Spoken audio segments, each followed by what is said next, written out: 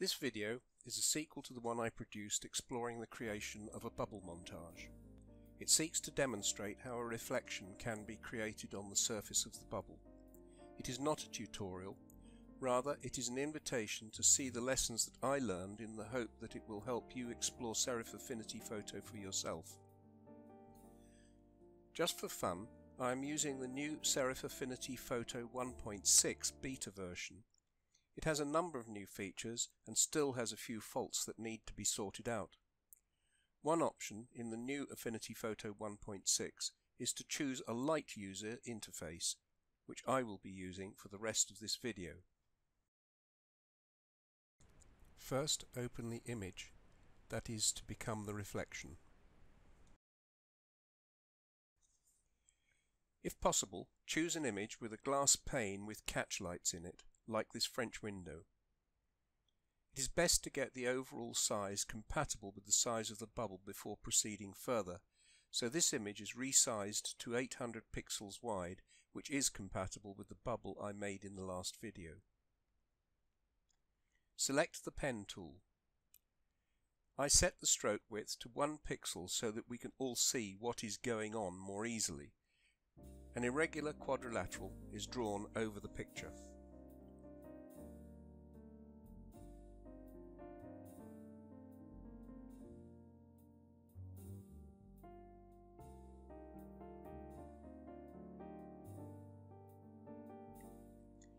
The Node tool is in the same drop-down menu as the Pen tool. Click in the middle of each side of the quadrilateral with the Node tool and draw it into a curve, using the control handles to make the curve relatively even. If the process results in a sharp corner being introduced, click on the curved icon in the context toolbar to convert it to a curve.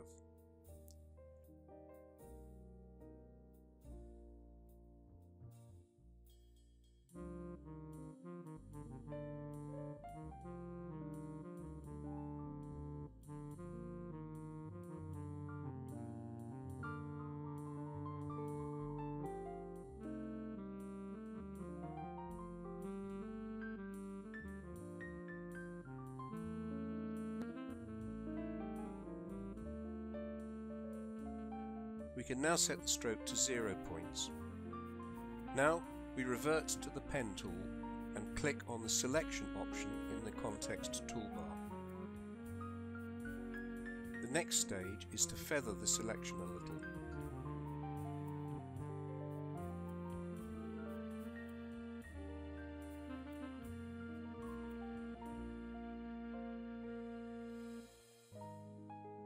Invert the selection and press delete this creates a soft-edged selection.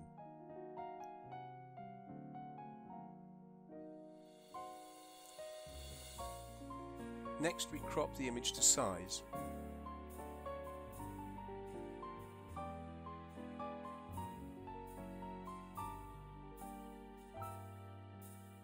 In order to avoid complications further on, I prefer at this point to copy the image flattened and create a new file from the clipboard this gets rid of the baggage of the unseen part of the image affecting operations later on.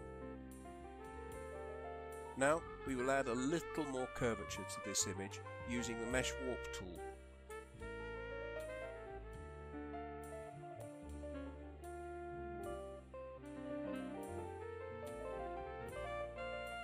It is important to adjust the handles at the corners to give the curve the correct shape.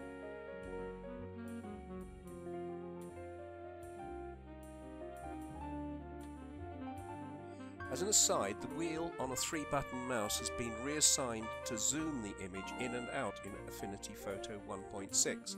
I think this is an improvement.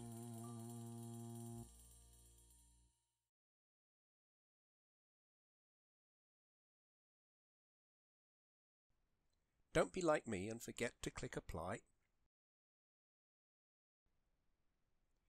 I have found it best to make the remaining adjustments with the reflection approximately in position on the bubble, which is now opened, and the bubble image pasted on as a new layer.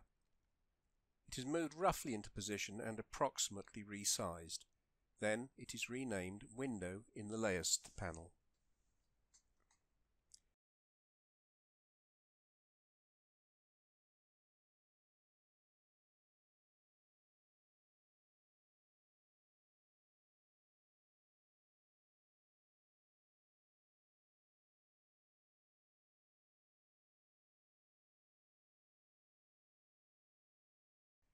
First live adjustment is a spherical filter which gives the image an appearance of curvature wrapping around the surface of the bubble.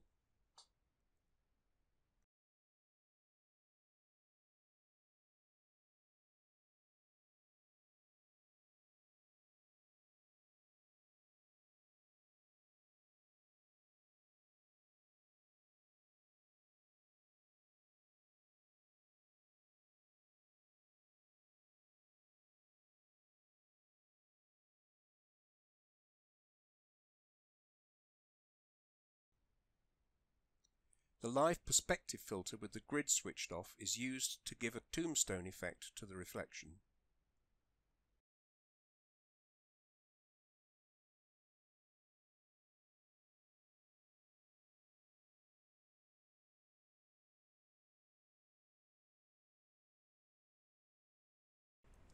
Now a live lens distortion filter is added.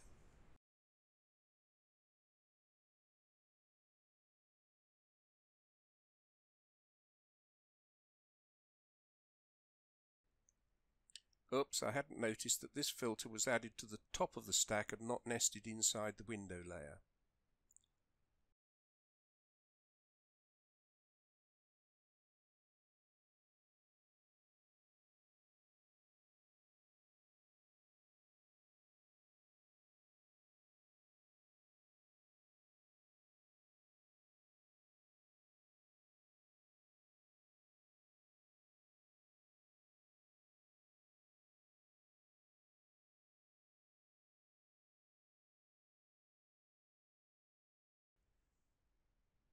I'm not sure whether this ripple filter is necessary, but I left it in at a very low radius.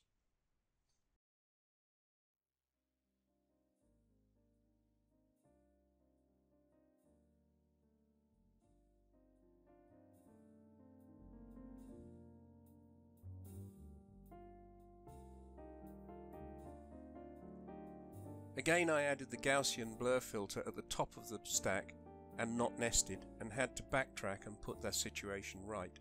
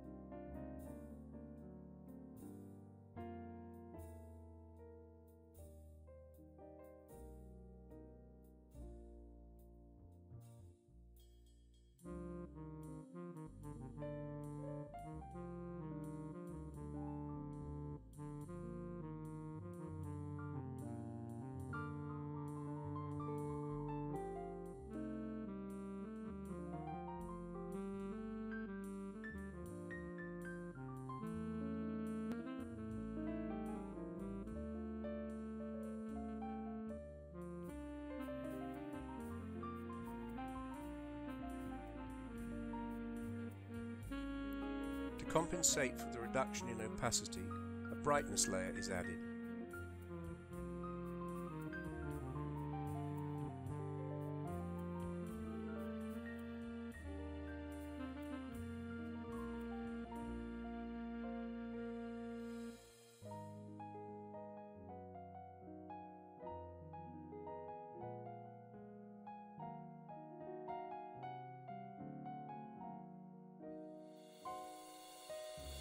The image layer is switched on and the position of the window and the opacity of the bubble can be adjusted to produce the desired effect.